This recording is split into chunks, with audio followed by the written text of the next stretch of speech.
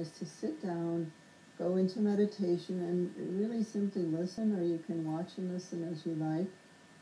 And the idea is that these teachings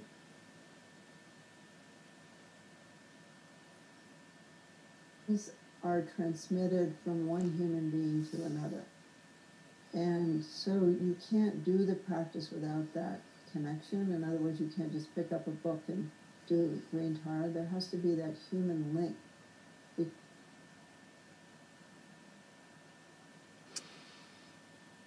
Because transmission is very important in our in, in Tibetan Buddhism in general.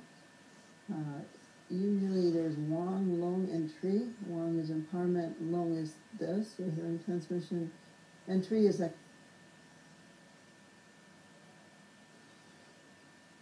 explanation.